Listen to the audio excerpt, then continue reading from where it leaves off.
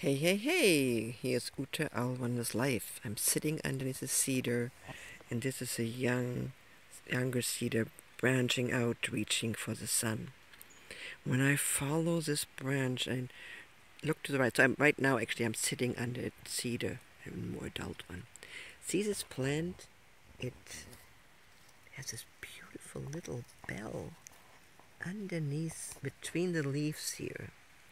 So I've sh I shared this with you last year.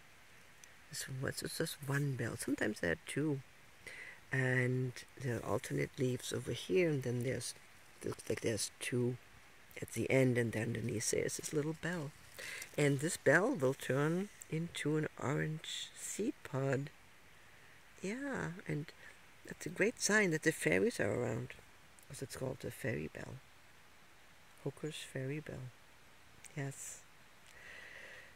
Marvels of nature are all around us. It's so green right now, and there's so much out there. And I mean, just be still and listen. We hear.